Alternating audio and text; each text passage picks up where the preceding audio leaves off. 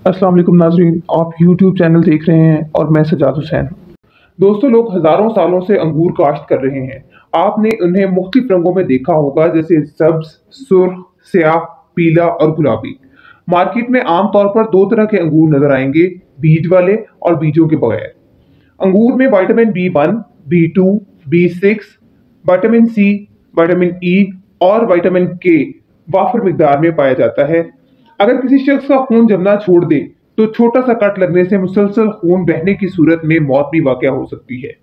अंगूर में विटामिन के पाया जाता है, जो खून के जमने और सेहतमंद हड्डियों के लिए इंतहाई ज़रूरी है। सेहत और नशुनमा के लिए अंगूर को अपनी ज़िंदगी में शामिल कर लें। सुर्ख अंगूर कोलेस्ट्रॉल को कम से कम जजब करके हाई कोलेस्ट्रॉल की सतह से बचाने में मदद करते हैं, जिससे हम दिल और ब्लड प्रेशर की बीमारियों से बच जाते हैं। अंगूर से दिमाग और दिल की बीमारियों को रोकने के साथ साथ इलाज करने में भी मदद मिलती है।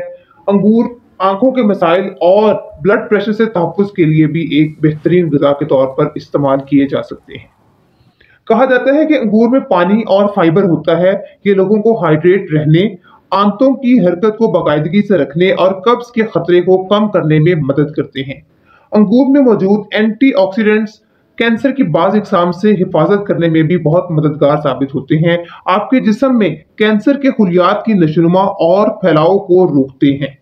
इसके अलावा अंगूर, शुगर और खून में शुगर की मकदार को कम करने के लिए भी बहुत फ़ायदेमंद साबित होते हैं। अंगूर खाने से यादाश्त और दिमागी सेहत में भी इजाफा होता है। देखें, हम जिस दौर में मौजूद हैं, इसमें हमारी ज़ात की पहली प्रायोरिटी हमारी स्किन है।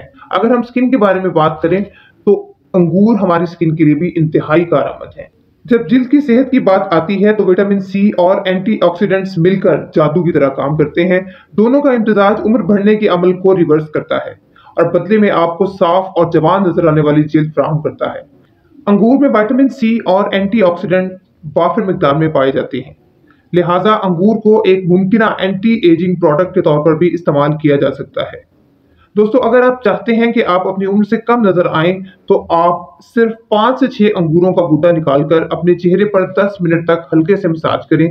इसे पानी से धोकर खुश कर लें। इसे ऐसा बाकायदगी से करने से आपको चंद ही दिनों में इसके बेहतरीन नतज नज़र आना शुरू हो जाएँगे और आप अपनी एज से कम नज़र आना शुरू होंगे। इसके अलावा अंगूर एक्नी के इलाज में भी बहुत मदद करते हैं। ये फल जिल्द की मुर्दा तहों को हटाता है और जिल्द को कोमल और नरम रखता है। अंगूर को हम मुख्तलिफ़ तरीकों से अपनी खुराक का हिस्सा बना सकते हैं, जैसे सुबह के नाश्ते में अंगूर इस्तेमाल किए जा सकते हैं। इसके अलावा दही के ऊपर डालकर भी अंगूरों को खाया जा सकता है। केले और खीरे के साथ अंगूरों का ब्लेंड बनाकर इस्तेमाल किया जा सकता है। फलों के एक ताज़ा प्याले में अंगूर शामिल करें और अपनी शाम को खूबसूरत बनाया जा सकता है और इन्हें गर्मियों के खाने के तौर पर भी इस्तेमाल किया जा सकता है। मज़ेदार मीठे के लिए इन्हें स्ट्रॉबेरी गिरीदार मेवे, सेब और चॉकलेट के साथ भी इस्तेमाल किया जा सकता है। इसके अलावा सबसे बेहतरीन हल के तौर पर आप अंगूर का ताज़ा जूस बनाकर भी पी सकते हैं।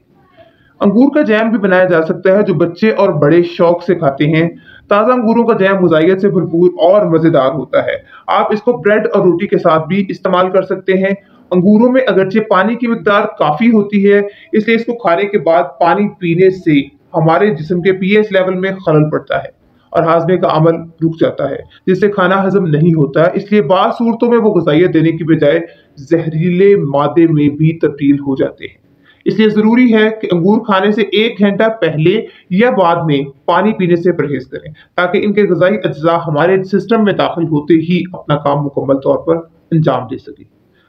दोस्तों, अक्सर आपने सुना होगा कि अपनी हमल के दौरान हमला खातन को इनके जिस्म के कई हिस्सों में स्ट्रेच मार्क्स का सामना करना पड़ता है। अंगूर स्ट्रेच मार्क्स को कम करने के लिए इंतहाई फ़ायदेमंद साबित होते हैं। ऐसा ख्याल किया जाता है कि अंगूर जिल्द को ज़्यादा लचकदार बनाते हैं, इससे आसानी से स्ट्रेच मार्क्स नहीं बन पाते। इसके अलावा ये बात भी कॉमन है कि हमल के दौरान अंगूर सेहत के लिए नुकसानदेह हैं।